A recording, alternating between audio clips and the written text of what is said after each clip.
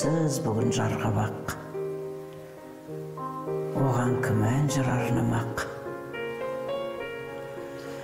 Мейірім деген тал бұлдау таситын көршім арбалап. Қисая қарап қияқ тұр. Бір ашпай қалды ау ұят гүл. Ар намыс деген теректің тамыры өлген сияқты. Ар намыс абырой ұят. Әдеби шығармаларда көбірек кездесетін әдемі сөздер ме дейсің. Ұғым бар ұғынушала біз бәрін жеңіл қабылдап жүрген сияқтымыз. Жүректі ауыртатын. Жыр жазсам оқырманым шаршап қалмай ма? Менің жүрегімнің жайыққа жылағанын ұғып атқан адам көп пе өзі? Дегенмен аяқтау керек. Айтатынымды айтып қояйын ақ қағазға. Досыңды бір кездері дұшпаныңды сол ақ қағаз ішкі мұңды ақтарып төгіп төгіп аласың ау. Ал оны оқыған жанның не жазығы бар? Қастығы да сол шығар оқырманның көңілін дал ететіні. Әрине зейін қоя пенде табылса. Жазғанмен махаббатты бұдан бұрын қорғауға соны тағы шығам бүгін. Жарын сүйе білмейтін жасықтардың елін сүйетініне күмәндімін. Отанға да жарға да ешкімге пайдасы жоқтарды мен мысалы көремін ғой. Тек әшейін селкілдеп өмір сүріп жүрген әшейін құр кеуде құр әлгі құр киім киіп алған құр жүргендер бар ғой. Міне солар жарын да сүймейді алдайды. Ә, екінші біреуді сүйем деп тағы алдайды босқа тек ол елге де ештеңе жарға да ештеңе балаға да ештеңе бермейтіндер. Енді ондайлар оқымайтын да шығар өлең дегенмен сондай болмаса екен деген ақынның арманы ғой аналық арманы. Ақын қайраткер ана әйел. Жалындаған қазақ қызының бойында қанша қасиет үндесіп жатыр десеңші. Олар бір бірінен ажыраған емес бір біріне кедергі де жасаған емес. Топтасып келіп топ жаратындай екпінде. Бұл ақштап бақтыгереева ақын болуды кім таңдап кім сұрайды дейсің қарағым. Ақын болу аузында болу сыздаған барлық жараның деді бізге айберген. Оған дейін де айтылып еді ақын болу кез келген нәрседен секем алу ғой шын ақын. Ол әлгі тек өлең құмарлық емес оны бір әлгі ермек етіп мен өлең жазам емес. Ол екеуі екі бөлек нәрсе. Жер бетіне сызат түссе ол ақынның жүрегінен өтеді деседі. Ол сөздің де бір жаны бар ау. Ал ақын ақштаптың өзі бұл құбылысты өзінше түсіндіреді. Арқалап туған жердің сағынышын жүргем жоқ атақ пен даңқ алу үшін бастық та депутат та болған жоқпын. Халқыма ақын қыз боп қалу үшін. Қазір өкінішке орай біреулер өлең жазып ақша болса кітап шығарам деп бұл поэзияны бұл ұлы сезімді бұл ә, сыршылдықты түсіне алмай қор қылып тұр ғой. Мына кезеңнің ә, дәуірімізді ақша билеген мына заманымыз осының барлығын біреуге түсіндірсе біреуге түсіндірмей жатыр. Біздің өкінетініміз сол.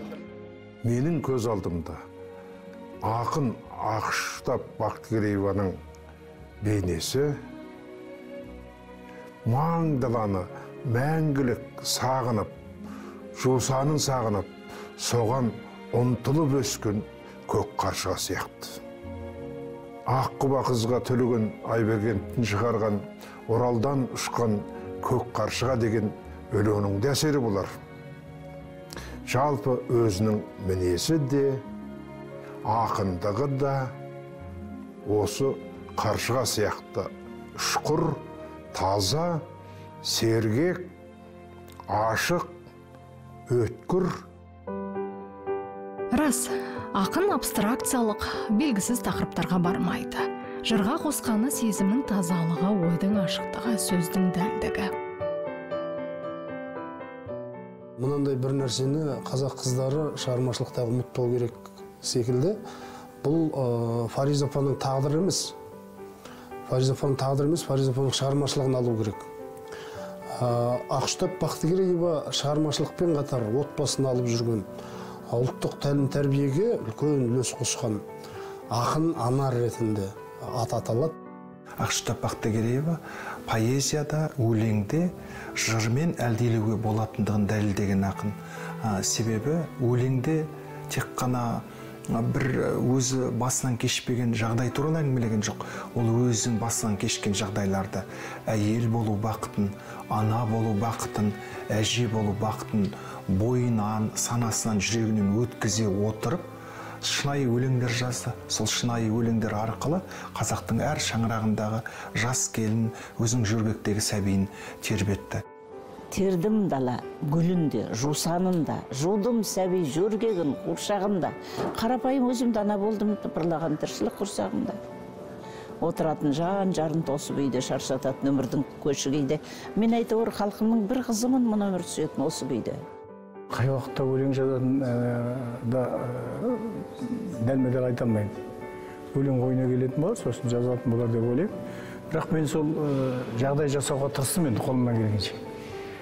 Бөлек бөлме бөлек кабинет кітаптарын бірақ ол ол жерге отырып алып өлең жазғанын көргенім жоқ. Ол ә, сол кітаптарды қарайды ақтарады. Ә, газеттерін журналын басқа ақындарды деген сияқты әдебиетті қарайды. Керек нәрсесі сол. Бірақ оны отырып алып өлең жазып отырғанын көргенім жоқ. Ақшта бақтыгерееваны ақжайықтың ақша қаласы дейді.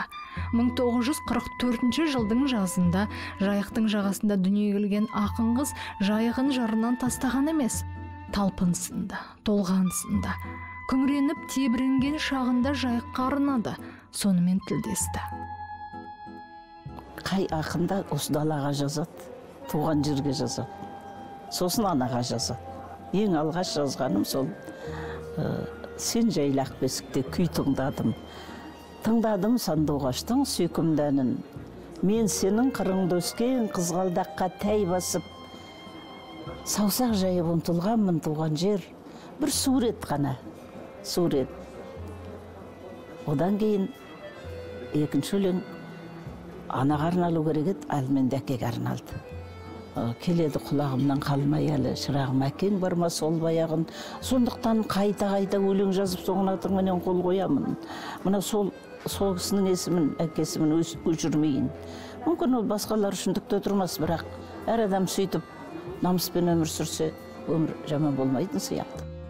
Сол әкеге қыз болған соң жат жұрттық екендігін білдіріп тұрып кешірім сұрағандай айтуы бұл шынайылықты ғана талап ететін өлең емес бұл көркемдік сезімді де тілейтін өлең. Соның ішінде жаныңның бар қызуын жастықтың бар қызығын жолыма құрбан еткен мен сенің жалғызыңмын осы өлеңде қыз баланың әкеге жалпы қазақ қыздарының әкеге деген құрмет сағынышы тұрады.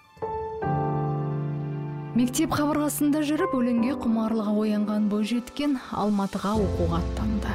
Өмірлік қорған болған жарын да алатаудың арайлы баурайында жолықтырды. Біз үшеуміз жүрдік негізінде. Фариза апаңыз екеуі бірге жүрді. Мен фаризамен жерлес едім жақсы қарым қатынаста болдық. Апа іні ретінде. Мүмкін ол кісімен өйтіп кездесіп екеуі бірге жүрмегенде мүмкін енді кездеспегенде мүмкін өмір дейтін қызық қой. Тағдыр ғой. Мен мысалға ақыннан жаралайын деп ойлағаным жоқ. Ойладым сезіміне байланысты. Ә, тағдырына байланысты нәрсе ғой. Деп ойлаймын өз басым.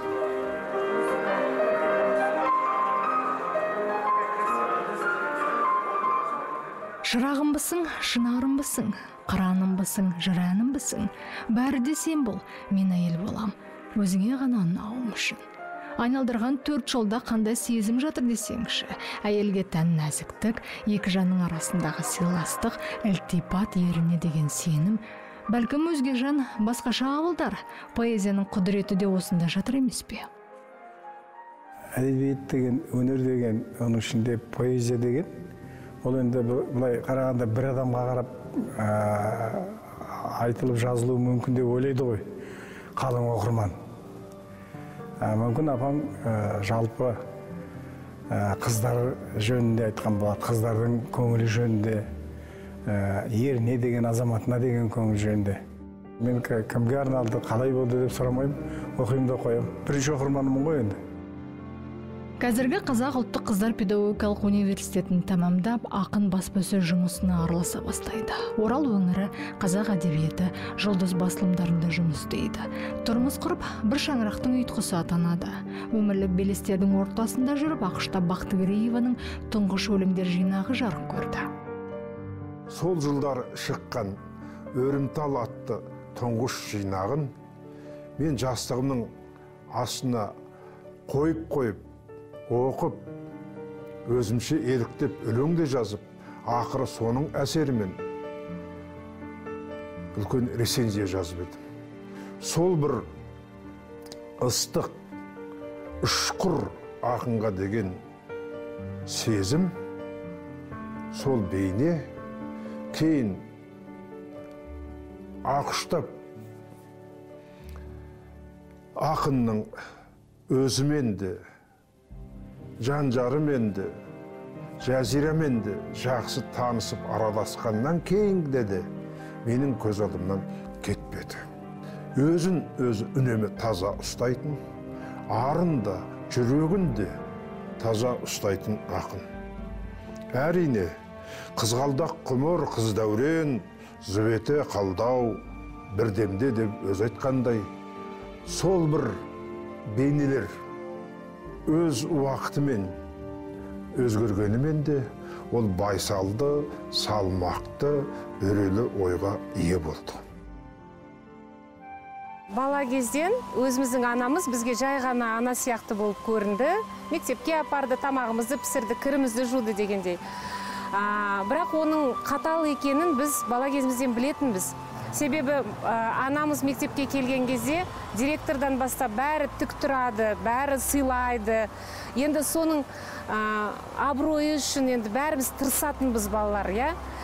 Әрине анамыздың сондай дара тұлға екенін біз есейгенде білдік. Енді есейе келе анамыздың мысалы өте ә, қайсар өте өжет өте адал адам екенін ә, қазір ғана түсіндік деуге болады. Ақұштап апамыздың шығармашылығындағы тек қана сезім емес тек қана махаббат емес. Махаббат дейтін дүниенің ауқымы кең екендігін отанға деген махаббаттың ұрпақ тәрбиесіне деген ұлтқа деген махаббаттың туған жерге деген махаббаттың шынайы жырлануына бірден бір кепіл бола алатын адам ақұштап апамыздың өлеңдері.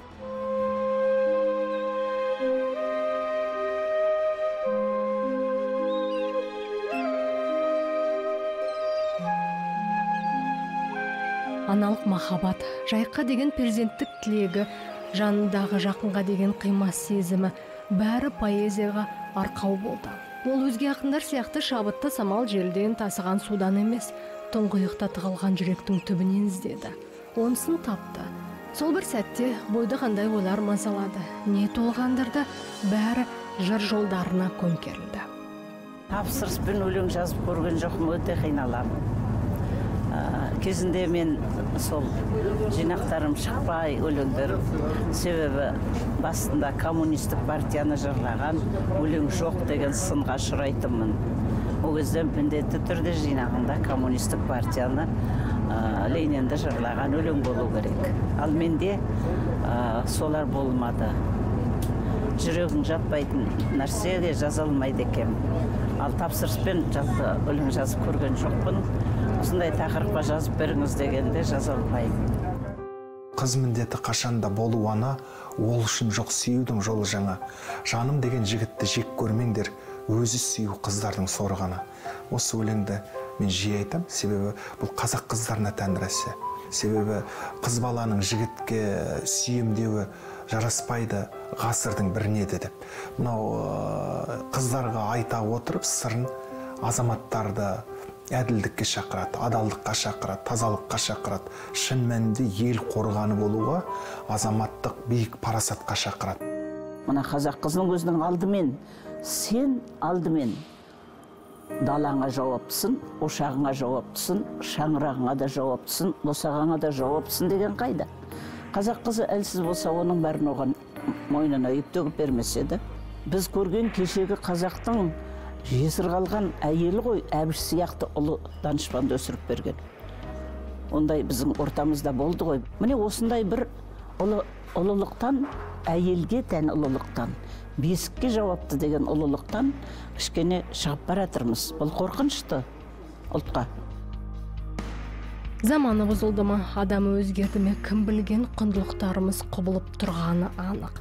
Қазір бәрін өзгеше қабылдаймыз. Нәтижесінде шым шытырық сезімдер мен мінездерді көреміз. Ал ақын ақштап намысын шырағындай етті. Әрісімен берісіне таразы болды. Сонысымен әлде келе жатыр. Міне сол сол намыс мені жетектеп құлатпай келе жатқан. Әйтпесе мен қазақ әйелі ретінде не көрмедім? Социализмді көрдім. Кезекте тұрған жаңағы пәтер кезегінде тұруды көрдім. Одан кейін жұмысқа жүгіруді көрдім қайта құруды көрдім. Алаға бір қалап бірге жүрдім. Отағасы да ол кезде азғантай инженердің ақшасы түк болмай қалды. Ә, міне осындай біз үш қызды бой жеткізіп білім беріп оларды оқытып тәрбиелеп қатарға қосу үшін талай нәрсені көрдік. Көп жерде анам еш нәрседен қорықпа деп айтады. Өзінің де сол ә, мінезінде бар оны білесіздер. Сондықтан бізге де сөйтіп айтқан шығар. Біз әрине ә, ол жағынан анамызға жете алмаймыз. Себебі анамыз өте сондай қатты қатал сондай қайсар мінезді. Ә, біз кішкене одан гөрі жұмсақтау сияқтымыз. Бірақ әрқашанда бізге айтады бір нәрсені бастадың ба ештеңеден қорықпа аяғына дейін жеткенше тура жолмен жүр адал жүр деп. Өр мінез батыл сөз ақын еш сәтте көпшіліктің назынан сырт қалған жоқ.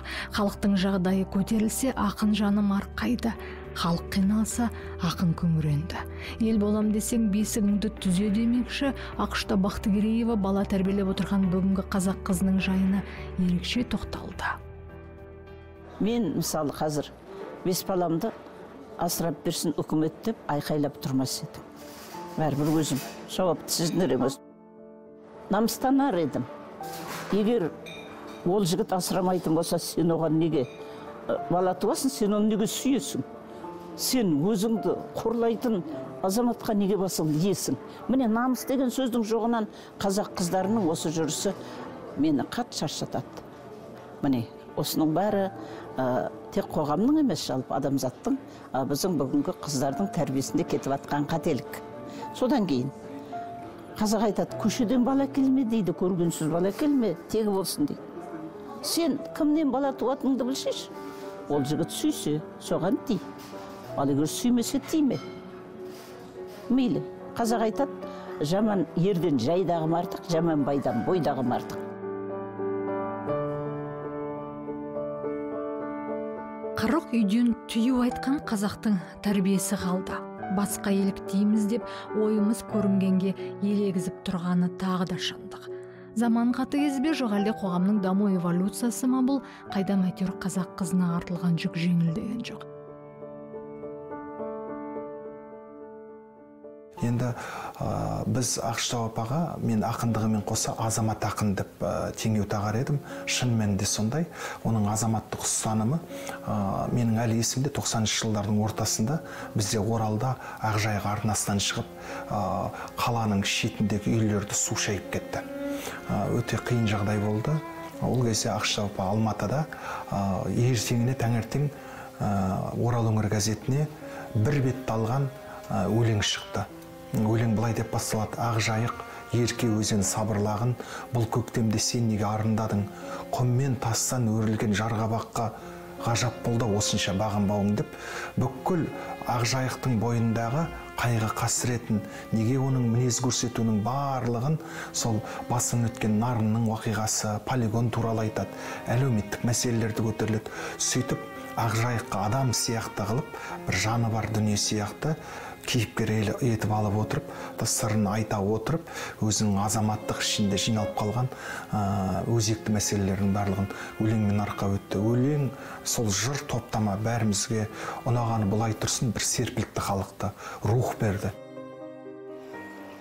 Шындықты айту үшін оралдым саған орал. Жалғанның жалғандығын сезгенде қапаланғанда оралдым саған орал. Айдын көлдердің айдыны аққусыз қалғанда оралдым саған. Орал айдын көлдерге аққу қонғанда оралдым саған орал дейді. Яғни туған жерінің аспаны да көлінің айы да құссыз қалған кезінде де ақұштап ақын оралдан бойынан табылады. Ақшта бақтыгерееваның өлеңдері оқырманына жол тартып жатты. Наз қуанышым іңкәрім сен ойлаймын ақ қанат бақ тәні жайық қызы ақ желен сүмбіле туған жері мен халқына деген алаңдаушылығы ұлт тағдыры тіл дәурені ақынның поэтикалық қуатымен жаңа өрнек алып ерекше жырланды. Ал мені ақжайықтың шағаласы дейді. О ерке шағала дейді мені. Жаңағы толқынның үстінде рахат сайрансап жүрген шағала ал мен қазір не деп отырмын ол шағаланы қайтадан? Мен ақ шағала тандым ғой сол жаза жаза сол шағаланы. Ал мен қазір былай деп жазам ағысың қайда алқынған? Айныдың мөлдір қалпыңнан тастанды қыз ба шағала анасын іздеп шарқ ұрған қазіргі жайықтың қалы қоғамның қалы ғой. Қазіргі менің шағалам. Мына қоғамдағы нәрселерді жоқтап жылап жүрген құс. Міне осылай мен көп нәрсені жайық арқылы берем ойымдағыны. Басқа шарам амалым жоқ. Жайық менің мәңгі тақырыбым. Тұрсам да жанға жайлы астанада тұрсам да ә, гүл көмкерген баспанада. Парлатып көздің жасын жайық құшқан апамен мына ақшағала менің әжем деген біріншіден мен, мен сол өз басым бала кезімнен сол атам менен әжемнің қолында өскенмін. Немерелеріміз барлығымыз иә оны әже емес та апа емес та ақмама деп айтамыз. Өйткені ол жүрегімізге ерекше ыстық болып келеді да сол ақмама деген сөздің атаудың бір ерекше бір жылуы бар болып сезіледі. Кішкентай кезімізде оралға жиі баратынбыз. Сонда ағам исатай мен інім махамбет далада ойнап жүргенде мені ақмамам қасына отырғызып кітаптарын көрсетіп өлеңдерін оқып сондай бір ерекше тәрбие берді.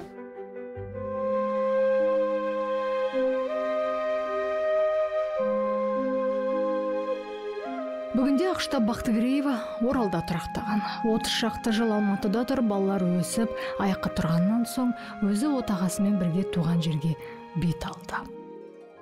Бірге жүреміз әр уақытта да.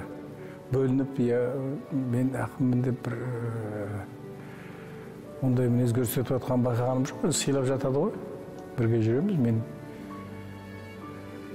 қасында боламын мен, мен ә, жолдас едім мен азамат едім мен ер, ер азамат едім.